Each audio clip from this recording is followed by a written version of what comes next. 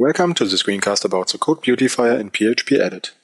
Sometimes you have to modify code that was written by someone else who had used a coding style you might not like. Others use different editors with strange formatics, or sometimes the arrangement of the code is just not as you would like it to have. PHP-Edit provides you an easy way to beautify each document.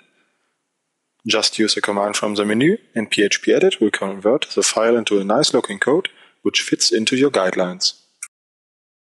You can configure some guidelines inside the settings of the beautifier. Just open them from the menu and change as many options as you like.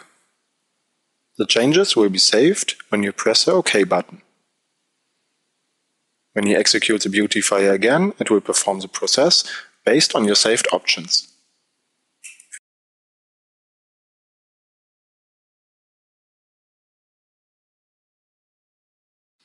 PHP-Edit allows you to execute the code beautifier on each open document.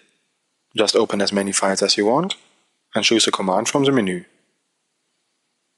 Keep in mind that the changes will not be saved and you need to handle that on your own.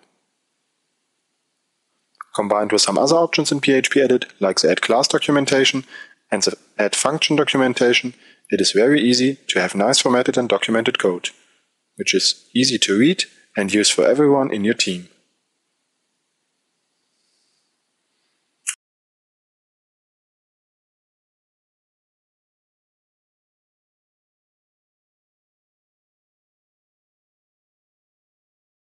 Thank you for taking your time to view this screencast. If you need assistance or you would like to view more related screencasts, please visit one of the following links.